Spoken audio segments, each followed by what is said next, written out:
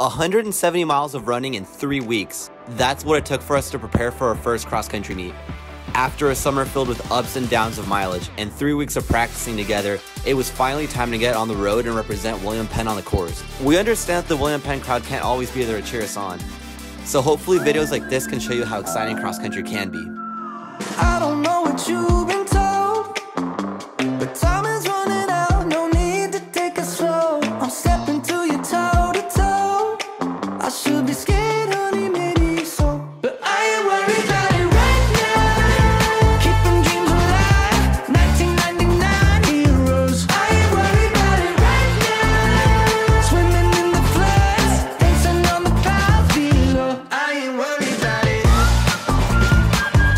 We usually get to meets a couple hours early so we can walk the course and mentally dial in.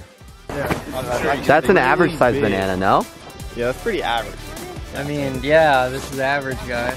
That's kind of humongous. Does size matter though? it shouldn't. It, it doesn't. It doesn't matter. That's humongous. Like, it's pretty big, right? Smell disgusting. That, that was they'll make your hands all. Well, like, like when you like gonna get on the bus, like Just look at that preparation. The hills on this course were so hard they had to name them. Well, what's your race plan?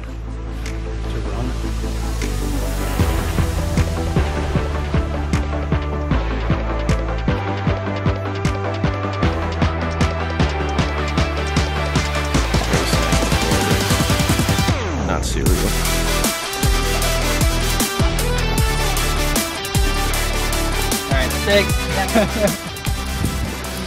Enough dilly dally. Let's go to war.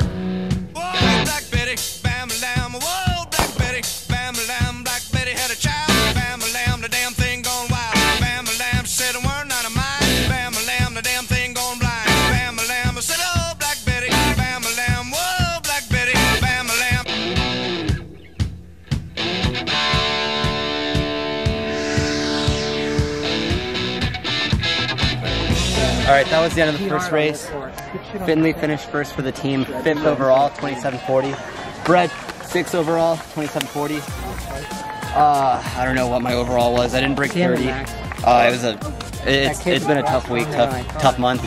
We'll bounce back. sprinter before. Will finished uh, fourth for the team, 29. Yeah, so uh, me, Jonah, Max, and Will, we uh, went out, uh, decent pace, uh, felt really smooth.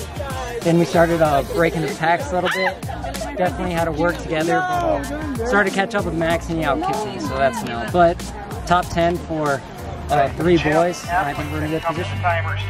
This was the toughest course of the year. Our top three with Max, Brett, and Jonah showing out with top 10 performances presents a very bright future for our season. And Max is definitely working on a case for freshman of the year. Here's how the team did overall. And in third place, William Penn with Axel, let's take it. picture? We know we're not the most exciting sport, but we work hard, love each other like a family, and most importantly, we believe in ourselves. William Penn, we're going to show you how great we can be.